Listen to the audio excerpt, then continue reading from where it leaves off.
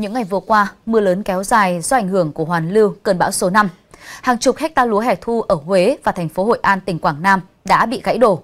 Nhiều diện tích lúa chìm trong dòng nước, hạt lúa nảy mầm.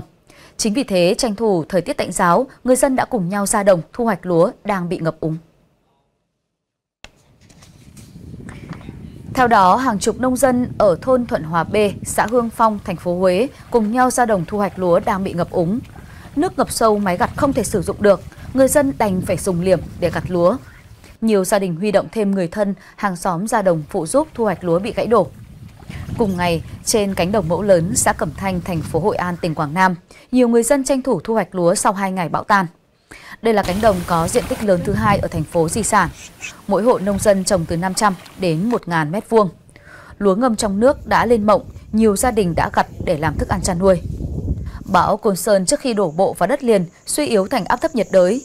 Riêng tại Quảng Nam, cơn bão đã khiến cho hơn 3.000 hecta lúa vụ hè thu ở địa phương thiệt hại do ngập nước, trong đó thành phố Hội An hơn 200 hecta.